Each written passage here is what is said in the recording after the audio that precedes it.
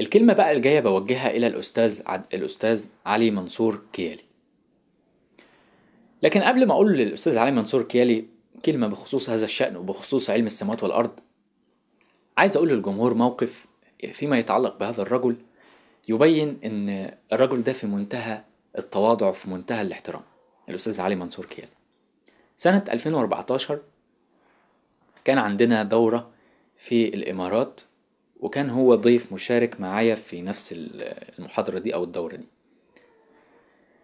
فدي كانت فرصة ممتازة إن إحنا نتقابل ونقعد نتكلم شوية.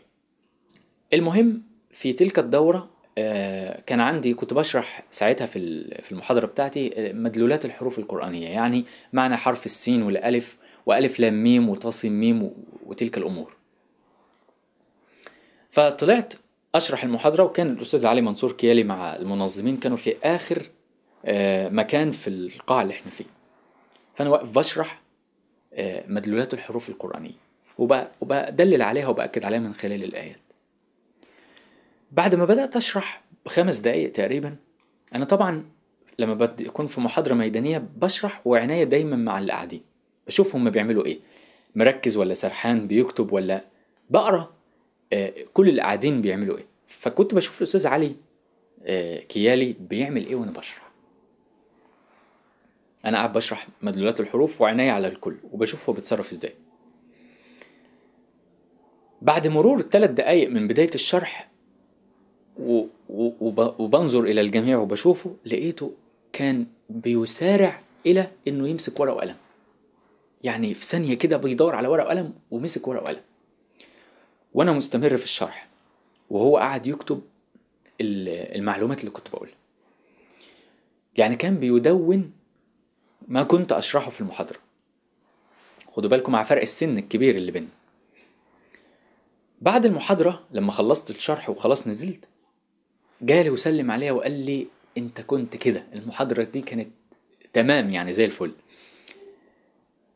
آه على طول في الموقف ده عرفت إن هذا الرجل لما سمع معلومة طالعة نقية بتدبر من القرآن وهو كمان رجل متدبر في ال- في القرآن يعني ما اتكسفش إن هو يكتبها وانه وانه وإنه كمان يجي يشكر فيها ويقول لي المعلومات دي كانت مهمة وكانت جميلة وكتبهم وم- وما قعدش قال برستيجي قدام الناس مثلا لو شافوني قاعد بكتب وراه وهو من دور أولادي ولا بتاع. ما كانش الكلام ده. الموقف ده من ساعتها عرفني أن هذا الشخص أو هذا الرجل من أكتر الأشخاص الذين لا يتكبروا على المعلومة ولا يتكبروا على الحق في المعلومة. فأنا بالنسبة لي بع- بعز الشخص ده جدا وبقدره لأن حصل مواقف بينه وبينه. الكلمة بقى اللي أنا عايز أوجهها له دلوقتي أن الأستاذ علي منصور كيالي لا يتكبر على معلومة. طيب لماذا الآن آه، دايما بيدافع عن الأرض الكروية مع إن القرآن اللي هو بيتدبر فيه لا يثبت أنها كروية. أنا الوقت بيني وبينك إيه؟ بيني وبينك القرآن.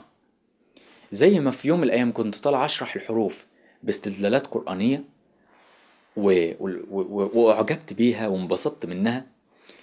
الأرض الوقت اللي إحنا بنتكلم عليها دي والكون اللي إحنا بنتكلم عليه آه، أنا بشرحه باستدلالات قرآنية نفس المبدأ.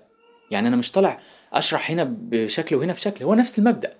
ليه تفضل آه، وأنت أستاذ جليل متدبر للقرآن فما ينفعش إن إحنا الاتنين نبقى متدبرين للقرآن؟ وأنا بقول إنها مستقيمة وأنت بتقول إنها كروية. طب هو إحنا بينا إيه؟ إحنا بينا أرضية مشتركة بينا أرضية القرآن. وطالما بينا أرضية مشتركة يبقى لازم يبقى لازم أمر زي ده ما ينفعش نختلف فيه. ما ينفعش واحد يقول كذا والتاني يقول كذا. يعني يا إما هي كده يا إما هي كده. طيب أما وعن شغلي أنا مسكت الموضوع وبحثت فيه كاملا وطلعت كل الآيات اللي في القرآن وعملت فصول في الكتاب عن هذا الأمر.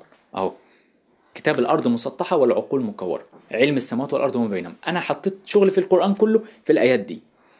ليه بقى؟ لما الأستاذ علي الكيالي بيطلع يتكلم في الفيسبوك وفي وسائل الإعلام بياخد آية آيتين ويثبت بيها إنها كروية وهي الآيتين دول مش بيقولوا إنها كروية. بالمناسبة لما هما بيستدلوا يقول لك يكور الليل على النهار ويك... هي دي الكلمة هي دي الآية اللي بيستدلوا بيها. يكور الليل على النهار ويكور النهار على الليل. استدلوا بقى إن الأرض هي الكروية. يعني المكتب مستوي. فأنا بكور الورق عليه. أنا عندي مكتب مستوي كده. فأنا كورت الورق على المكتب. لما أنا بكور الورق على المكتب هل دي معناه إن المكتب وسطح المكتب بقى سطح كروي؟ ما هو يكور الليل على النهار ويكور النهار على الليل غير الأرض. وبعدين عايز تفهم يكور الليل على النهار ويكور النهار على الليل. شوف الآية بتاعت يولج الليل في النهار ويولج النهار في الليل. بيدخل الورق في بعضه. يعني لما انت بتكور الورق وتدخله في بعضه يولج الليل في النهار ويولج النهار في الليل. يكور الليل على النهار ويكون النهار على الليل. ملهاش علاقة إن الأرض كروية. وبالتالي يا أستاذ علي منصور كيالي زي ما آه، زي ما أنا شخصيا بكن لك كل التقدير والاحترام وشايفك من الناس الصادقة والناس المتواضعة جدا في هذا المجال. واللي عمري ابدا ما الاحترام ده هيتغير يعني جوايا ناحيتك. الجزئية بقى بتاعت الأرض وعلوم الفضاء دي آه، يجب عليك ويجب علينا جميعا إن إحنا نطلب من الله الهداية فيها والتوفيق إنك تشرح اللي في القرآن تقول اللي في القرآن نلتزم باللي في القرآن. ما نقعدش نأكد ونخلي نفسنا محاميين عن ناس كذابين. يعني برضو الاستاذ علي الكيالي كذب أحاديث لرواة ليست موافقة للقرآن. طب ما هو نفس الكلام. كذب أولئك الكاذبون الدجالون اللي كلامهم مش موافق للقرآن. ما هو حاجة من اتنين. يا إما نلتزم بالقرآن يا إما سيبك من القرآن خالص وخلينا بقى بتوع يعني في ناس عايشة مع علوم الفضاء ودي حياتهم. ما لهمش بقى علاقة بالقرآن. إنما إن إحنا نعمل الوصل ما بين الاتنين على حساب القرآن ده ما ينفعش. ده غلط. فأتمنى من الكوادر العربية الكوادر الإسلامية اللي بتتكلم للناس زي الأستاذ علي آه، الكيالي وزي الأستاذ عدنان إبراهيم وزي وزي زي كتير من النماذج وخصوصا المتحدثين الحاليين اللي هم لسه في عصرنا الحديث مش القدام اللي خلاص هم قعدوا مبلطهم في في التبريرات والتطبيل لعلوم الغرب. بتمنى من أولئك اللي في زماننا الحديث إن هم يعملوا فرق واضح في فرق واضح ما بين الحق والباطل. ما ينفعش الحق والباطل يبقوا الاثنين كده داخلين في بعض. القرآن اللي هو الحق والعلوم بتاعتهم اللي هي الباطل يبقى الاثنين كده منفذين على بعض ومؤكدين لبعض وزي الفل. ما ينفعش. ما ينفعش. يجب أن نكون صادقين مع أنفسنا ومع جمهورنا فيما نبلغه عن كتاب الله. اللي بقى مش عاجبه كتاب الله ومصدق الغرب ومصدق الصور والفوتوشوب والكلام ده ده بقى مشكلته مع مشكلته مع نفسه. إن هو بيحب اللي يخدعه بيحب اللي يضحك عليه ما بيشوفش عينيه ما بيشوفش عينيه بتشوف إيه في الحياة؟ ده أنت لن تهديه. يعني إحنا مش مطلوب مننا إن إحنا نهدي الناس وإن إحنا نقعد نكذب عليهم عشان نهديهم. يعني مرة الأستاذ عدنان إبراهيم قال ما تقولوش لهم إنها مسطحة. يا أخي هتنفروهم من الدين. لما يقول لك ده هي كروية في العلوم والدين يقول إنها مستقيمة فيكفروا بالدين. يعني هو هو الدين بقى هش للدرجة دي؟ والقرآن بقى هش للدرجة دي عشان يتحط يبقى علوم الفضاء والأكاذيب بتاعتهم أقوى من من القرآن. فالناس تقوم عتياه ظهرها ما اللي عايز يكفر بربنا بيكفر واللي عايز يؤمن بيؤمن. اللي عايز يؤمن بيؤمن غصبا عن أي حد واللي عايز يكفر بيكفر برضه غصبا عن أي حد. إنك لا تهدي من أحببت. دي دول كانوا كلمتين بوجههم إلى أستاذ عدنان إبراهيم وكلمة أخرى إلى الاستاذ علي الكيالي.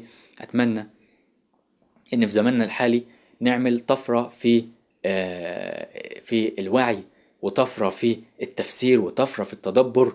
وما ينفعش إن إن من يتحدثون عن التدبر وعن التنوير وعن الوعي أن يكونوا وكلاء ومحامين عن آه، دجالون أو دجالي أو دجالون هذا العصر. اشوفكم على خير إن شاء الله في فيديو جاي اللي هنتكلم فيها أكتر عن الأرض والسماوات وما بينهما والأسرار العظيمة دي. والسلام عليكم ورحمة الله وبركاته.